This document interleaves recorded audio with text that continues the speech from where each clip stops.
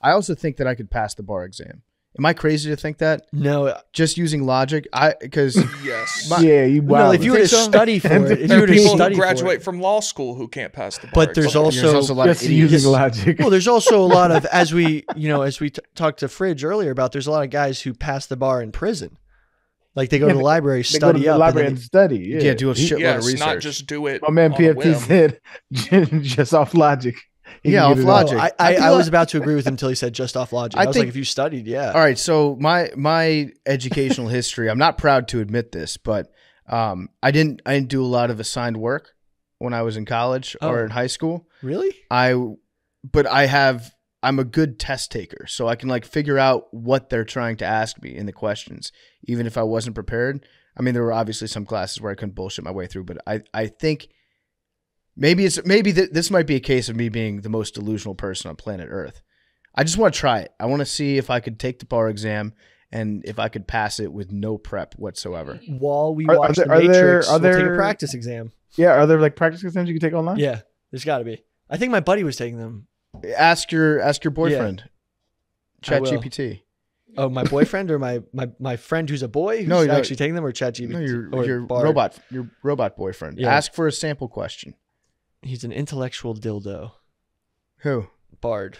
Oh, your chat GPT. Yeah, because he's, he's intellectual intellectually dildo. stimulating. Thanks. What's an example of a bar exam question? How long do you think a bar exam takes? Probably like It's like two Oh, days? Very long. Jesus Christ. Ah, I'm out. That's it's just, they must say purely off of logic. it's sitting there, sitting there and deductive reasoning for two days straight. yeah. okay. Well, here's a here's an essay question. Okay. Oh, here's a multiple choice question. All right. Give me multiple choice. Okay. Which of the following is not a defense to a medical malpractice claim? Oh shit. All right. The plaintiff consented to the medical procedure.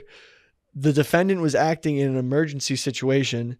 The defendant was following the standard of care. The defendant's negligence was not the proximate cause of the plaintiff's injury. A. Hey, I think- Easy. Wait, wait, Easy. wait. Run, run, run the questions back again. So I'm going to send it to the group in a message so you guys can properly check it out. Oh, I the, agree an- with you, the, PFT. the answer's A. Well, just look at it again. Okay. I, Just- I just don't run- have. Well, I see the answer. R- Which run of the, following is not a defense to a medical malpractice claim? A. The plaintiff consented to the medical procedure. B. The defendant was acting in an emergency situation. C. The defendant was following the standard of care. D. The defendant's negligence was not the proximate cause of the plaintiff's injury. oh, was not the cause. I think it might be D. No, no, it's A. I think it's still A. The answer's A. The No, plaintiff the answer- consented to the medical procedure.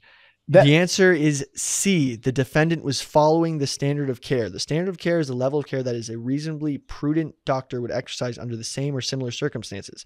If the defendant followed the standard of care, then they are not liable for the medical malpractice, even if the plaintiff suffered injuries. Right. But that's that. The question. That's wa- the opposite of what you asked. yeah. That Which i- of the following a is, not a defense? But the way you just ex- explained it is that it's a defense. was it's a defense. Well, you know what? I'm just reading what this Chad. could be, well, this this, could be is why we don't ask. Chat GPT. Let's go to the Illinois bar exam tutor. Uh, you know, sound off in the TikTok comments. What Yeah. your thoughts are, lawyers? I I mean, see, The defendant was following the standard of care. That seems to me like that'd be an ironclad defense against medical malpractice. I don't know, man. I don't. But that's why the I'm not plaintiff- a lawyer. But the plaintiff con- consented to it. Oh wait, yeah, yeah. The plaintiff. the other three choices are all potential defenses to a medical malpractice claim. If the plaintiff consented to the medical procedure, then the defendant is not liable. Oh, what the fuck? The He's not liable A? unless they committed negligence beyond the scope of the plaintiff's consent. If the defendant was acting in an emergency situation, then they are held to a lower standard of care. right. I If the defendant's negligence was not the proximate cause of the plaintiff's injury, then the defendant is not liable. yeah. So you just So it's basically said D. the answer is It's A. gotta be. I don't know, man. You That know what? shit- Fuck this shit. This is why we're not lawyers. Well, this is why we don't use Bard for. well, maybe. Bard's right and we just can't comprehend it. No, I don't think so. I think I'm Yeah. smarter than that I'm computer. like an Elon Musk fan. yeah. Sorry, I, I like technology. What What is your obsession with A- AI? Well, I feel like if I do not like use it to No, no, no. Be, be me, serious. Be serious. I'm being serious. Like if you're not like working with it, then you are going to be left in the dust. Because it's so it's like it's gonna reach higher than human intelligence in the next three years. But right now, Three years. right now, where three you, or four. Uh, that's like something I read, like twenty, uh, like twenty thirty. That's not three. what you're years, using it for right now is basically like Google. Yeah, Yeah, but like for example, it was much more efficient to just type that in than go look for myself for a random question. but it also might be wrong. it also might be wrong, but we'll see. Yeah.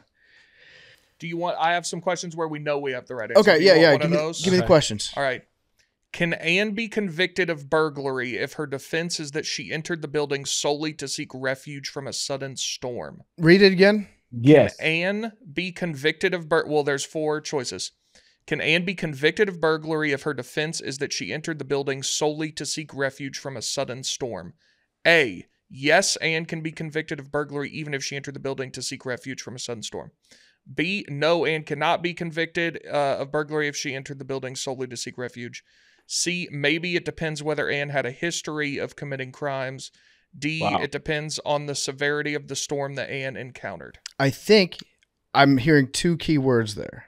This is me logicking the test. I might be wrong. Nice. Logic that Okay. shit. I'm hearing Yeah. two key words here. Mhm. The word solely. The word solely stands out. Mm-hmm. And then I don't know what burglary means, but Yeah, uh, but but I think I think the answer is no she cannot because she went she did not go into the store to rob anything. She solely went in the store to get away from the storm. So your answer would be B. And- no, she cannot be convicted of burglary. And it, it was a crime of convenience which I don't I'm going to say B. No. Is burglary technically because it might just be like actually the act of entering something and not actually taking anything. Right, like That's- yeah, that's, that's Yeah, that's that's where the Si- burglary. similar What is to what I'm burglary? saying. I'm going to say B. No, she cannot if she solely because it repeated the word solely. okay, Arian, you said yes. You Yes. think A. No, no, no. Wait. Is You the, think she is the- could be convicted? Oh Yes, no, I think she can be she convicted, can yes. be yes. Entry into a building illegally with the intent to commit a crime. Yeah, no. So, So, you're that can also fall under trespassing. No, you're wrong. Uh, the answer is B. and cannot be convicted of burglary. Uh, burglary uh, requires the intent to commit a crime upon entering a building, and seeking shelter from a storm is not a criminal act. There we go. I'm a lawyer. So what about got- so what? so you what gotta what listen to these- what about these a- key What about a what about a home? Can Anne enter a home? Uh, I, That's that's not the, what the question was though, Arian. The so solely entering a place like a place of business, you can't be convicted of burglary because you didn't go into the store to rob it. You went in there for a different reason. well, this is what I'm saying. What if you're you have a, a ranch in the middle of nowhere and there's a tornado coming, and you break into somebody's house to seek refuge from a storm? Can you be convicted? Of probably a crime, you you probably could be convicted of uh, trespassing. Honestly, I think we'd all end up in prison in a lot of these It- situations. It depends. It depends on how you define burglary, which is actually when we get into prisons, one of the big points is like how you categorize different crimes. Like a lot of the times, like violent crimes actually don't have anything violent in them, Mhm. but they'll have like could have led to violence. You know what Mhm. I mean? Property, so a lot of stuff like that. The language in which what we how we define burglary or breaking and entering stuff like that is kind of vague, and it's not black and black and white as it seems. So Yeah, Yeah, Big T, do you have? A, are there any more questions? uh, yeah, here's a contracts law question. Oh, good. Which the following statements is true regarding the scenario where Jane proposed to sell her car to John for $5,000, but sold the car to someone else the very next day without receiving any acceptance or consideration from John? A. Yes, John can sue Jane for breach of contract because she made an offer to him. B. John cannot sue Jane for breach of contract because no contract was formed between the two. C. Maybe John can sue Jane for breach of contract because he needed time to think it over. Or D. It depends on the type of contract Jane proposed. would it be B. I say B. I say B, B. B, B sounds right to me. Can you read B again? No, John cannot sue Jane for breach of contract because no contract was formed between the two. And can you read the question again? Which of the following statements is true regarding the scenario where Jane proposed to sell her car to John for $5,000 but sold the car to someone else the very next day without receiving any acceptance or consideration from John? Yeah, he she just proposed no acceptance or consideration. Yeah, I, I'd say B on that Is, one. is is is a is a is verbal is a verbal contract binding? I know in some states it is, in some states it isn't. Well, there wasn't any. That was part of the So the the key word They I did have heard a verbal agreement. the key word that I've heard was proposed. yeah proposed. Yes. Uh, the that she- answer is B. Yeah, ah, yeah. sweet. She These proposed seem it. easier than like Those You are know. definitely the filler questions. There's definitely hard ones at the end. Are there filler questions in the bar exam? I think these are just giving you an idea of like the subjects and stuff that could be on Yeah. there. Okay. But I, yeah, though you I think that I think you have to actually know case law too. So like you'll for you actually have to know Rogers versus the state in 2018 has set the precedent for this Yeah. kind of case law. So they reference that like in courts all the time. They'll reference case law if some in case something like that similarly comes up. So like if you How long go does- back to but right. Speaking right. of you have test to, it, taking, it sounds like a lot of studying that you have to have to oh be yeah, able to like it's insane. Well, recall that. There's extended response questions. I want to know. I want to know how long it takes if I'm allowed to take the bar exam and how much it costs. do you think you could pass the bar? I think. I think I could pass the bar exam. no Re- shot in hell. Quick, quick, You're uh, fucking insane. And I I think you're a brilliant man, but I, that's insane. quick.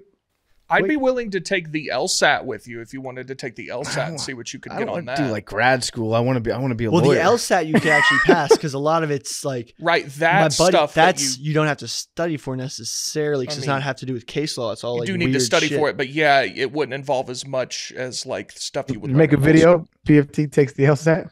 I just want to. I want to see what I would get on the bar exam. Okay, I, I, I don't actually believe that I would pass the bar exam. I'm not. I'm not that delusional. Like, I I'm just interested to see how how far I could go on bullshit. Well, real quick, speaking of test taking, when American psychologist Timothy Leary arrived at prison in 1971, he knew how to answer the psychology tests inmates, inmates take because he helped design some of the questions. Hmm. And he then manipulated those tests to get a gardening job, a position he used to escape.